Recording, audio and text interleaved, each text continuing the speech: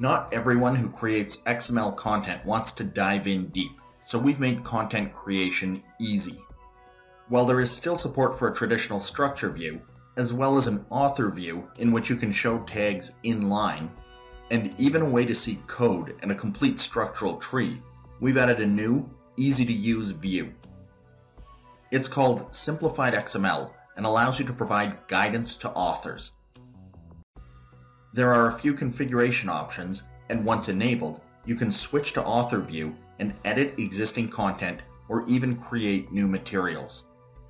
Now the creation of content, such as a concept, is easy for anyone. The guided view makes it simple to do focused writing. It's almost fill in the blanks. When the blanks have been filled, the finished file is an entirely valid XML document.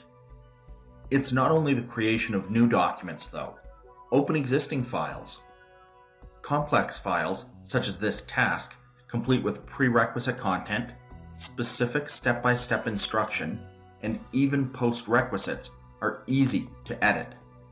Consider the work of subject matter experts and others who contribute content. Using a contextual quick element toolbar, they can click Section.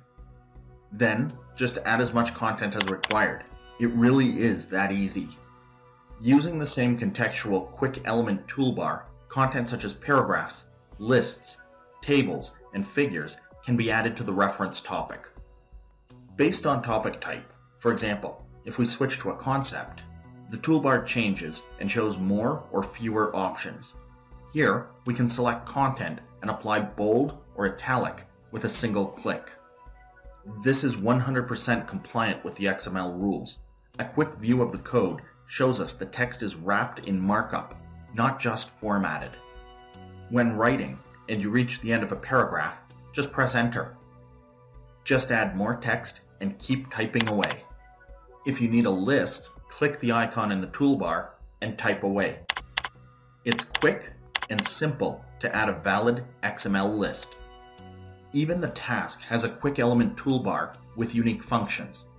FrameMaker gets you started within minutes, regardless of your previous experience creating XML. It's now simple to develop richly formatted, visually guided, professional XML content.